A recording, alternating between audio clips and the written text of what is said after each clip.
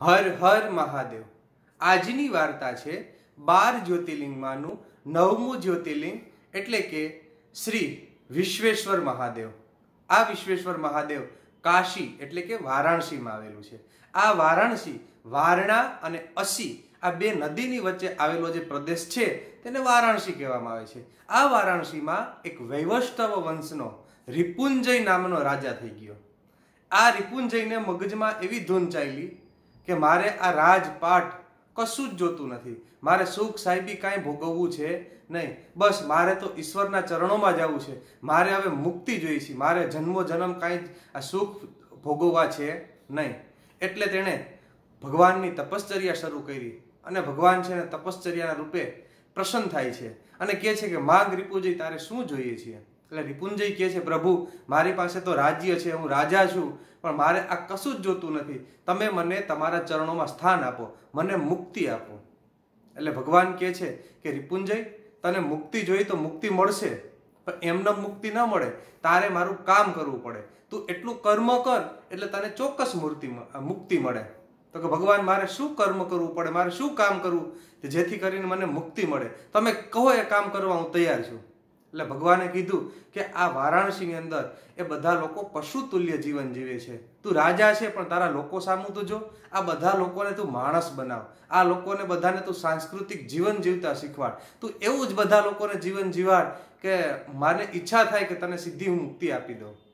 તો કાંઈ વાંધો નહીં પ્રભુ. તમે કહો એમ હું આ લોકોને સાંસ્કૃતિક જીવન જીવતા કરીશ. હું એક ખરા અર્થમાં માણસ એને બનાવીશ. તમે ઈચ્છો એવો હું માણસ બનાવીશ. એટલે ભગવાનના આશીર્વાદ લઈ અને રિપુંજય છે એ વારાણસીમાં કામ કરવા તૈયાર થાય છે. એટલે ભગવાન કહે છે કે, રિપુંજય, આજથી તારું આ નામ છે એ તું બદલી નાખ. અને ભગવાન છે એને નવું નામ આપે છે. એ રિપુંજયને બદલે ભગવાન તેનું નામ છે દિવોદાસ પાડે છે. એટલે દિવોદાસ કહે છે કે, ભગવાન, કાંઈ વાંધો નહીં દિવોદાસ બની અને આ વારાણસીમાં કામ કરીશ. પણ મને એક વરદાન એવું પણ તમે આપો કે જેથી કરીને પ્રભુ હું આ મારું જે વારાણસી છે એમાં મારા સિવાય કોઈની સત્તા ન ચાલવી જોઈએ. ભગવાન કે આશીર્વાદ, શંકર ભગવાને આશીર્વાદ આપ્યા કે તારા સિવાય આ વારાણસીમાં કોઈની સત્તા ચાલશે નહીં, કોઈનું ચાલશે નહીં, તારું જ ચાલશે, તું જેમ ધારીશ તેમ કામ થશે.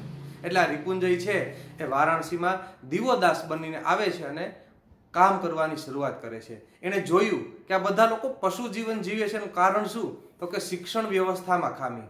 એટલે તેણે પાયામાંથી મૂળભૂત રીતે શિક્ષણ પદ્ધતિ બદલાવી. શિક્ષણમાં નવા નવા વસ્તુનો ઉમેરો કર્યો અને નવી પદ્ધતિથી નવી રીતે સાચા અર્થની શિક્ષણની શરૂઆત કરે છે. લોકોને શિક્ષણ આપવાથી જ સુધારી શકાય એવું એ દ્રઢપણે માનતો હતો. અને પોતે પોતાનું વર્ચસ્વ હતું એટલે શિક્ષણની અંદર સુધારો કર્યો અને ખૂબ સારી રીતે લોકોને શીખવવા માંડ્યા. સુસંસ્કૃત વેદો, આપણા ઉપનિષદો વગેરેનું શિક્ષણ આપવા માંડ્યા. સાચી પદ્ધતિથી શિક્ષણ કાર્ય શરૂ થયું. અને કાશીમાંથી બધા લોકો ભણી ભણી અને આજુબાજુના વિસ્તારમાં લોકોને ભણાવવા લાગ્યા. બધા લોકોને એમ થયું કે ના, ખરેખર માણસ બનવું હોય તો કાશીએ ભણવું પડે. અને બધા લોકો ત્યાં ભણવા આવવા લાગ્યા. અને એવું એક સરસ મજાનું, એક સુંદર રાજ્ય નિર્માણ થયું કે ન પૂછો વાત, કોઈ રાજાની કોઈ જરૂર જ ન પડે. એ રીતે બધાનું આપોઆપ આખું રાજ્ય ચાલતું હતું. સુસંસ્કૃત જીવન જીવવા લાગ્યા. લોકો એટલે તો બોલવા માંડ્યા કે કાશી તો મુક્તિનું ધામ છે. વિદ્યા મેળવવી હોય તો કાશીએ જ જવું પડે. આવી નામના આ દિવોદાસે પોતાની વારાણસીમાં પોતાના કાશીની અંદર ઊભી કરી દીધી. એક વખત ઇન્દ્રની સભા ભરાણી એટલે ઇન્દ્રને પણ મત્સર થયો કે બધા ઇન્દ્રની નગરીના કોઈ વખાણ કરતું જ નથી. હવે તો બધા કાશી નગરીના વખાણ કરે છે કે જીવવું હોય તો કાશી નગરીમાં જવાય, મુક્તિ જોતી હોય તો કાશી નગરીમાં જવાય. ઇન્દ્રની નગરીમાં કોઈ જવાનું નામ જ નથી લેતું. એટલે ઇન્દ્રને એમ થયું, ખરેખર આ વાતો કરે છે, સાચી છે? એટલે ઇન્દ્રએ બધા દેવોમાંથી અગ્નિદેવને કીધું, ભાઈ, તમે તપાસ કરી આવો કે ત્યાં કાશીની અંદર આ બધી વાત સાચી છે? એટલે અગ્નિદેવ છે એ તપાસ કરવા માટે આવે છે. અગ્નિદેવે જોયું કે બધા લોકો અગ્નિ છે, તેજસ્વી છે.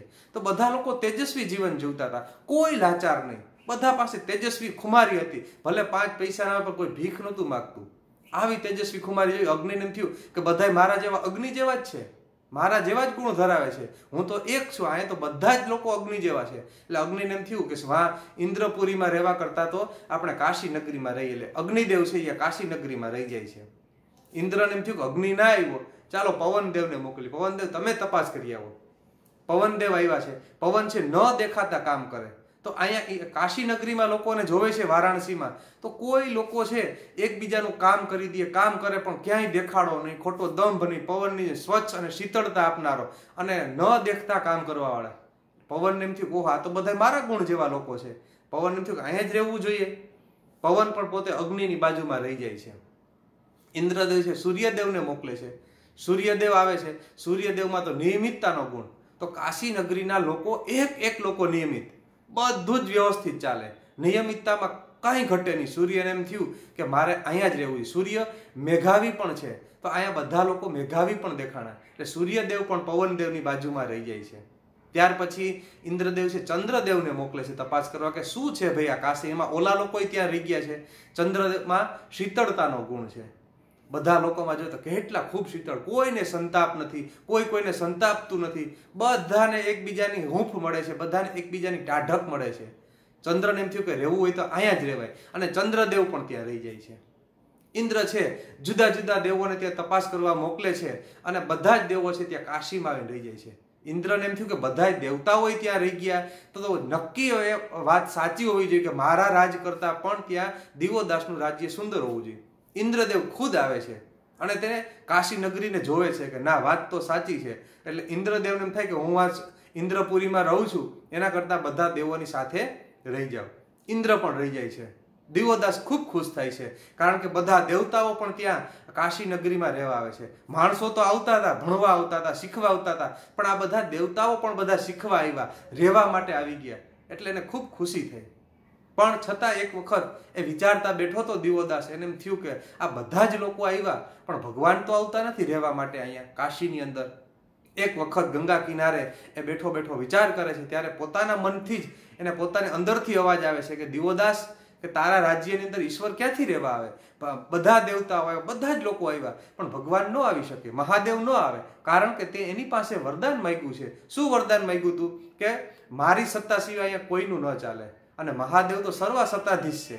હવે એ અહીંયા આવે તો તો એની સત્તા ચાલવા માંડે. એટલે દિવોદાસને એમ થયું કે હું અહીંયા છું, એટલા માટે ભગવાન આવતા નથી. એટલે દિવોદાસે પોતાના રાજની અંદર સભા ભરી અને બધા જ લોકોને કીધું કે અહીંયા ઇન્દ્રદેવ, સૂર્યદેવ, બધા જ લોકો દેવતાઓ, બધા લોકો આવ્યા છે. પણ ભગવાન ખુદ આવ્યા નથી. એટલે ભગવાનને જો લઈ આવવા હોય, તો મારે અહીંથી જવું પડશે. ઈશ્વરનું વરદાન છે કે હું હોઉં, ત્યાં સુધી કોઈની સત્તા ન ચાલે. અહીંયા આપણે ભગવાનની સત્તા ચલાવવાની છે. એટલે આ દિવોદાસ છે, એ પોતાના પુત્ર યુવરાજને રાજગાદી ઉપર બેસાડી અને પોતે છે બધા લોકોની ત્યાંથી વિદાય લે છે. જ્યારે વિદાય લે છે, ત્યારે સ્વયં ભગવાન વારાણસીમાં પ્રગટ થાય છે. તે એટલે વિશ્વેશ્વરનાથ. આખા વિશ્વનો જે નાથ છે તે વિશ્વેશ્વરમ ભગવાન ત્યાં પ્રગટ થાય છે. દિવોદાસને પોતાના ચરણોમાં લે છે અને કાશી નગરીમાં ભગવાન પણ રહેવા માટે સહમત થાય છે. એક દંતકથા એવી પણ છે કે ભગવાન શિવજીનું લગ્ન છે, હિમાલય પુત્રી સાથે થાય છે અને ભગવાન શિવજી છે એ કૈલાસમાં રહીએ. કૈલાસ પર્વત પણ હિમાલયમાં આવેલો. એટલે માતા પાર્વતીને એમ થયું કે ભાઈ, મારો પતિ છે પિયરમાં રહીએ છે. કૈલાસ એટલે તેનું પિયર ગણે હું પણ હિમાલયની પુત્રી છું. અને પતિ પિયરમાં રહીએ એ કોઈ સ્ત્રીને ન ગમે.